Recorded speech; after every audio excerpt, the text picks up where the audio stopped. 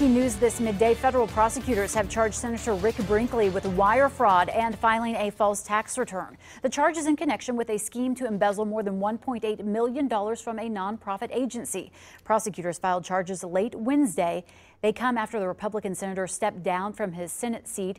He said that he would do that December 31st. Brinkley worked at the Better Business Bureau for 15 years. The arraignment started this morning at 1030 in federal court.